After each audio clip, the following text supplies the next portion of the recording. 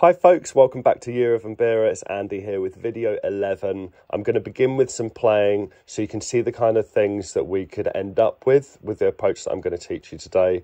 Um, and hopefully you'll be inspired to stick around and make sense of everything that I'm working through. As always, there's going to be resources to accompany this video in your uh, subscription at mbira.online. So let's begin with some playing.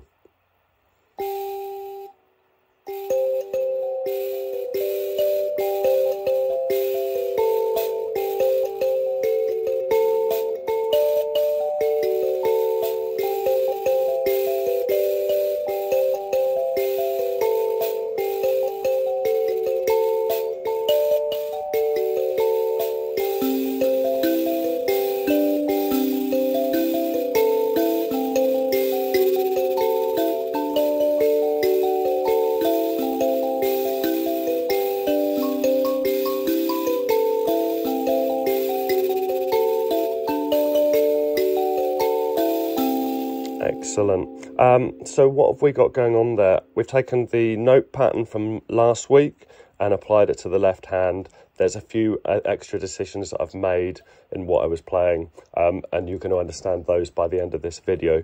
You could start with this um, approach by taking any note pattern. It might be that you have a variation that you're already playing for a completely different song, and you look at what's going on in the left hand or the right hand, which we're going to come to a little bit later in this video.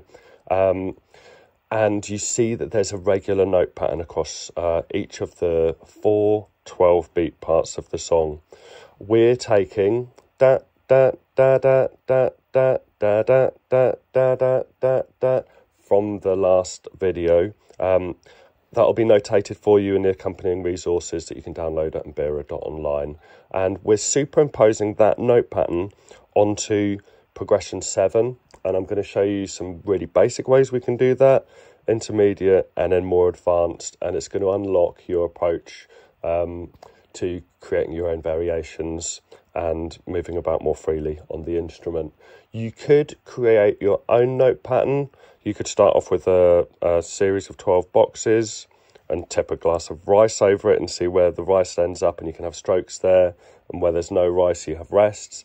You could toss a coin. You can any random way of creating note patterns, um, or you can take the one that I'm suggesting. And there's seven strokes in this 12 beat pattern. You can start the pattern on any one of those seven strokes. Um, but for us today, we'll maintain the first starting point and main starting point that I looked at in the last video that you'll see in, in the resources. So let's begin this pattern um, somewhere in our song structure. I'm going to go for the first beat on the third chord in each part of the song. The reason that I've chose that point is because that's where the um, Hosho marks the beat, um, and the first beat of a chord is a really good place to um, find where the beat lands. Um, it's a really good orientation point. It corresponds with that up moment of the mouse ran up the clock, where which we looked at much earlier in the I think it was in the Mbira deep dive videos. So our up moment is on chord five, and in one instance on chord four in this song. So if we take our pattern da da da da da da and start it on let's say the last chord five, we would end up if we were playing root notes with.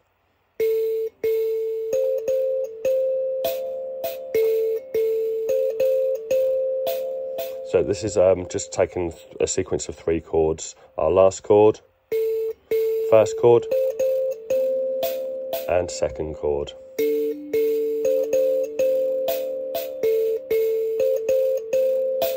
You can use some words to help you remember the pattern. I like playing music. Yes, I like playing music.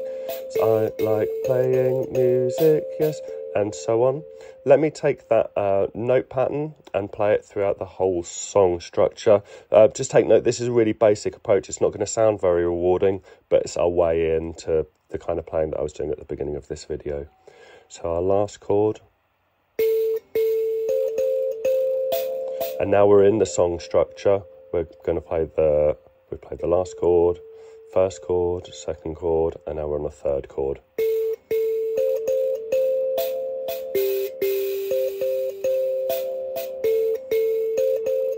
Ah, I haven't got a note three here, so I'm going to go for this one. Let's go from the beginning again, or from this last chord.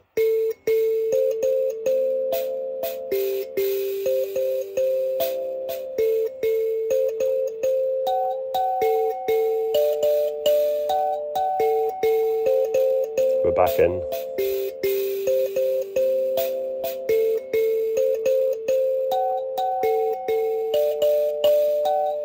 And then back in again. Um, because our note three that I was trying to find there slips off the end, why don't we take this and play it down an octave? And then we've got all of the notes, um, but not in the left hand. If we've got a three here.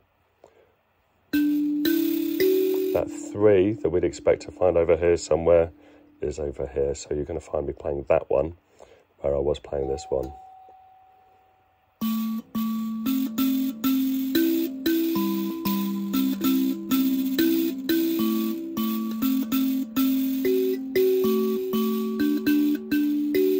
I like playing music, yes, I like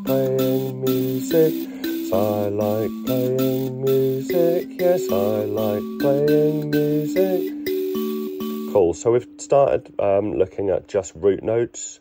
We could play octave pairs. Um, these threes are going to be awkward again. So I've played an octave pair of fives.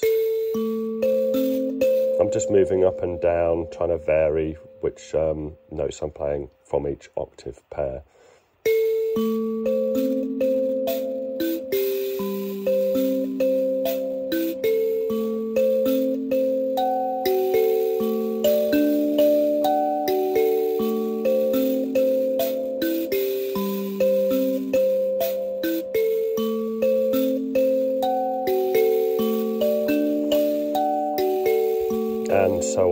Um, you'll notice that I played my ones here rather than here.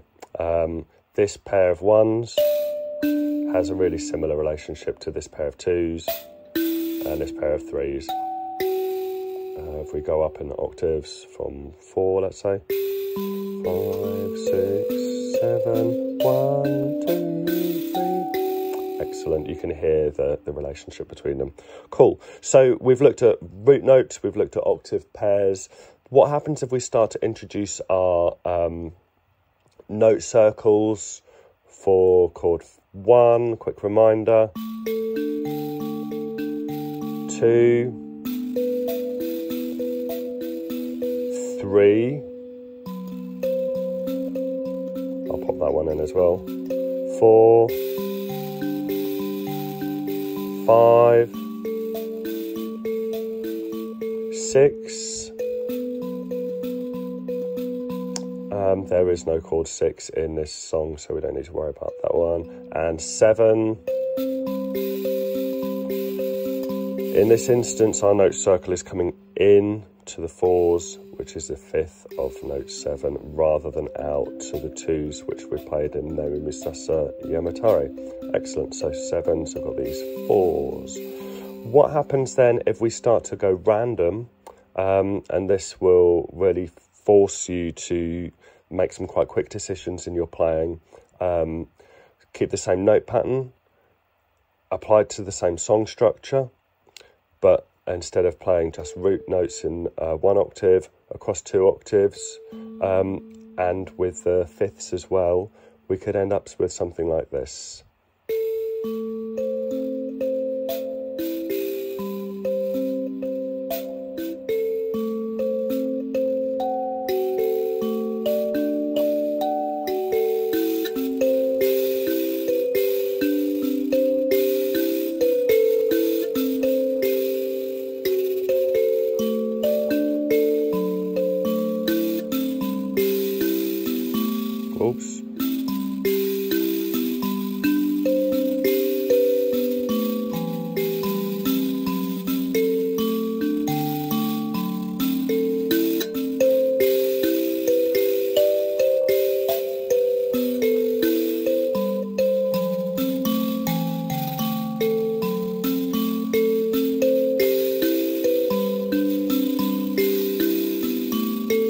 Already starting to sound quite pretty. Um, you might want to put your um, some notes from the cascade and a right hand against that, just give you a point of orientation. Oh, sorry.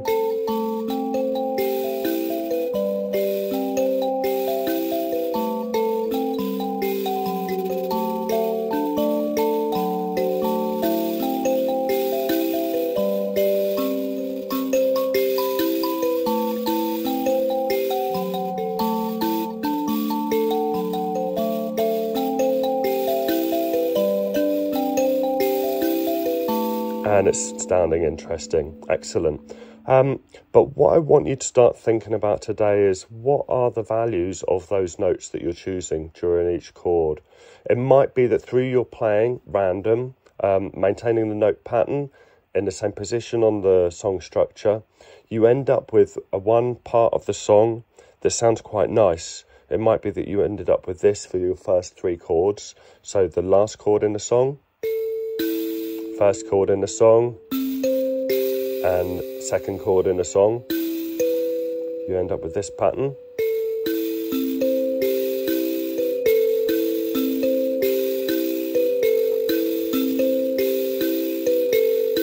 Um, and you're like, what what happens if I apply that those values of those notes across each of the four parts of the song?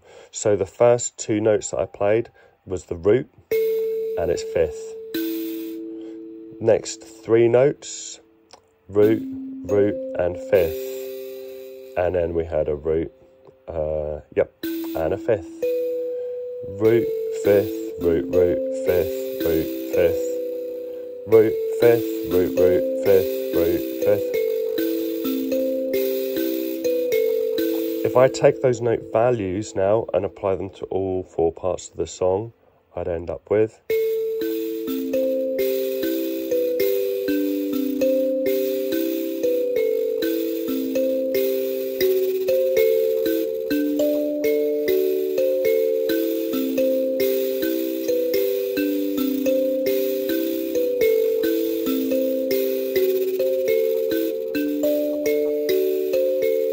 Pop in some other random right hand notes just to fill it out a bit.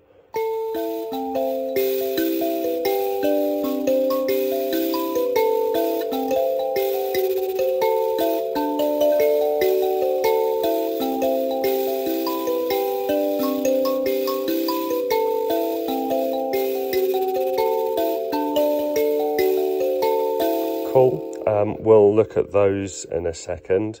So I've got something going on here that's got similar values or the same values across each four parts of the song and it uses uh, two registers here.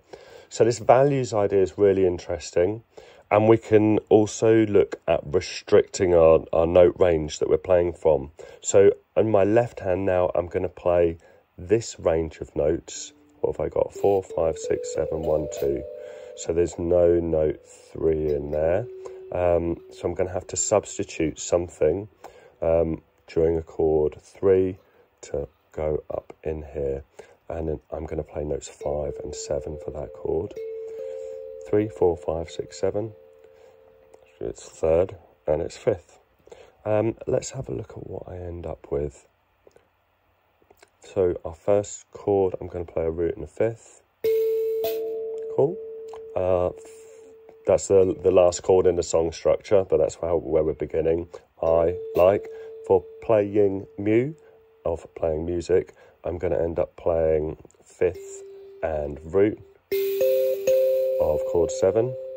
And then for zik, yes, so the last two strokes, I like playing music, yes. I'm going to go for the third and the fifth.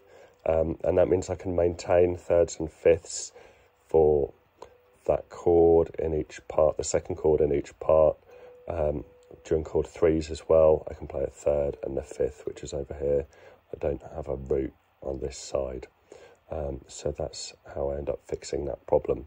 So we end up with I like playing music, yes I like playing music, yes I like playing music, yes I like.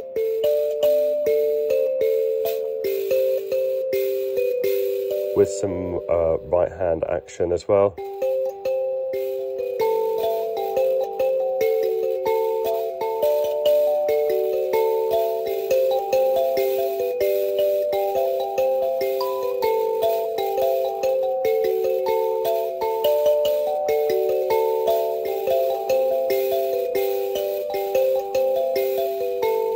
So what we've got going on up here now is repeating note values across all four parts of the song and note range restriction.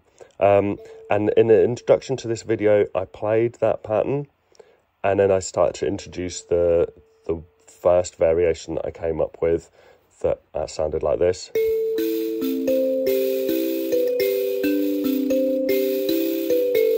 Which has got the same note pattern but different note values spanning uh, a wider range of notes. So we're starting off restricting and it feels like it's filling out more.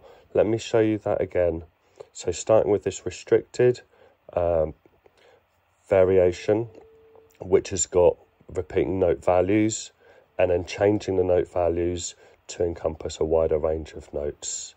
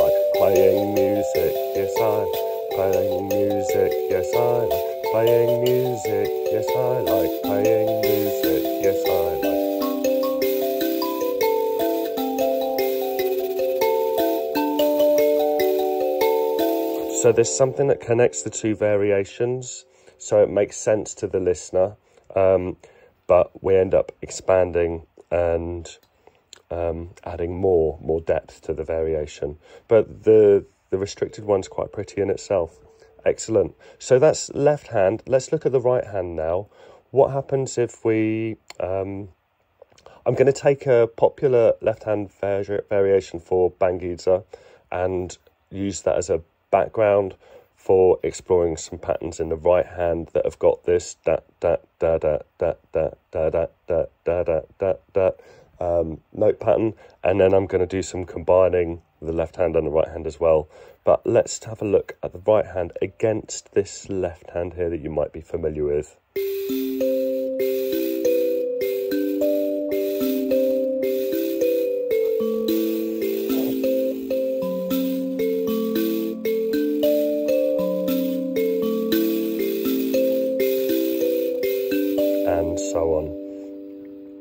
Last chord, we're going to play two strokes. Um, what happens if I... Do, do, do. Let me start actually at the beginning of the song um, as we normally notate it. So on that chord seven, and if I go for its fifth, which is note four, we're going to end up with um, I like playing mu so I'm going to start with a playing mu stroke here. And then I'll go to the next chord. Zik, yes. Well, I'll play its root. So I start on a fifth and then root. And then we're going to go for fifth of chord four.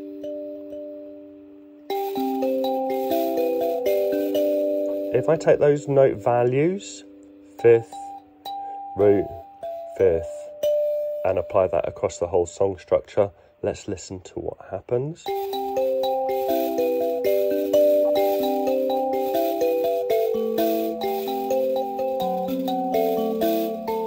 Uh, fifth, Mm-mm-mm. Yep, up here.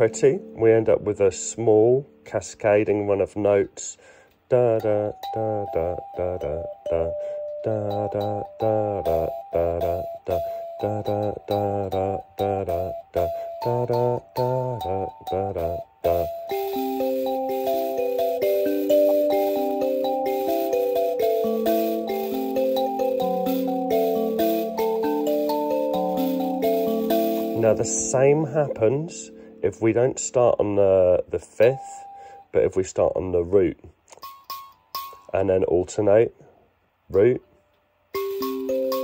fifth, and root, giving us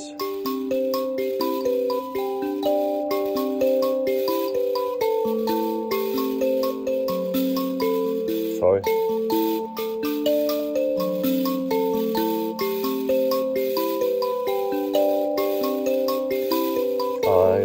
Playing music, yes I like playing music, yes I like playing music, yes I like playing music, yes I like.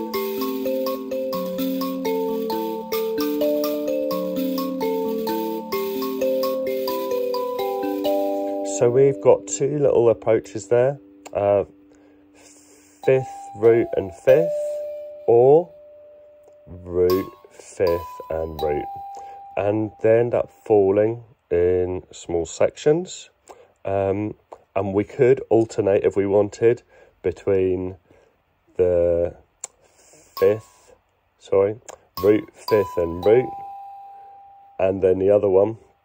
Um, so we end up producing our whole cascade, the notes of which would be this. Oh, sorry, I'm starting on the fifth.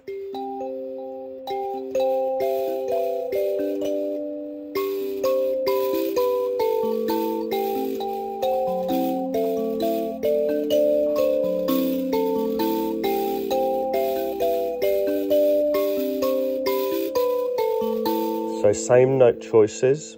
Um, we start on our fifth root and fifth pattern, and then for the next part of the song, we play root, fifth, and root. Next part of the song, uh, fifth, root, and fifth, and last part of the song, root here or root here, root, and fifth, and root. So we're effectively alternating fifth root, fifth root, fifth root all the way through the song, giving us.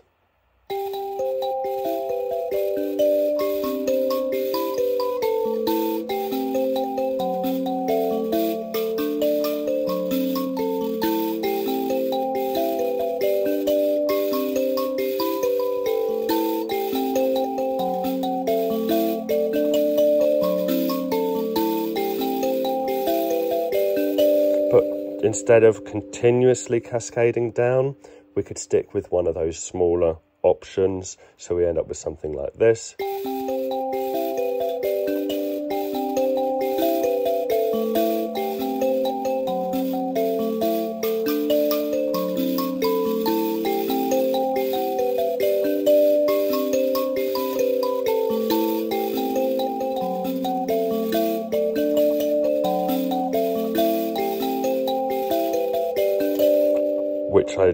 Out of into the cascade and then I went back to. Um, so we end up with some nice variation and it's all related. Excellent. So this is a really great way of coming up with a pattern just for your thumb or index finger. Um, you could go back to our fingertip freedom videos and choose random uh, lows and highs, something like this.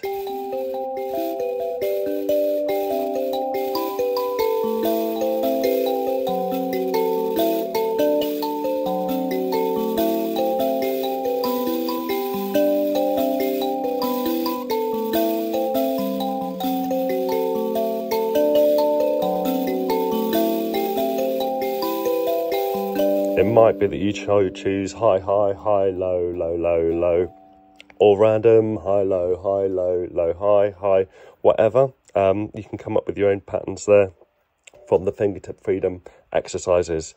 The last thing that I wanted to show you today, which is really pretty, is taking the note values that we played in the left hand. Let's take this variation. And finding them up here in the right hand. So we end up playing octave pairs. Um, fives, twos. Uh, and I can't play two different sevens over here in the right hand, so why don't I go um, yeah, four, seven, four for that chord. And when I get to chord one, excellent. So I could have something like this.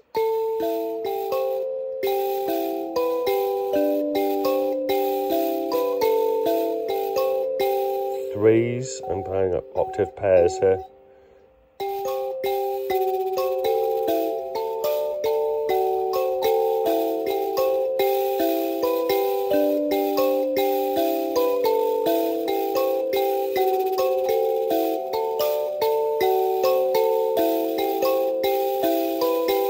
It's quite gymnastic. Um, if you find it difficult, great. Give it a go. Do it at a speed that you've got high chance of success at, and it's really going to open up your playing and your independence. This last exercise, coming up with a pattern in the left hand, same note values over here, and playing octave pairs across registers. Really pretty. You do see it in traditional variations, um, and if you can develop that kind of independence, being able to, oh, I don't think independence is the right word, uh, that kind of relationship between your left hand, right hands, then it's really going to add to your playing. Excellent. This week we've looked at taking the note pattern from last week and looking at loads of different applications that you could apply to any note pattern, any variation, start that note pattern at any point in any um, song structure, um, restricting the note choices, playing roots, playing octave pairs, playing random, and um, note values is a really important one, and we're going to be exploring that more in the future. Next week, I'm gonna is more theoretical. It's just looking at this particular note pattern that we've chosen and some of the magic behind it. It's really fascinating. Um, I hope that you stick around for that and stick around, uh, give yourself some time with these exercises that we've looked at today. All of the notation is in the um, Mbira Online subscription. You can access that there. Any questions, reach out. Thanks very much, everybody.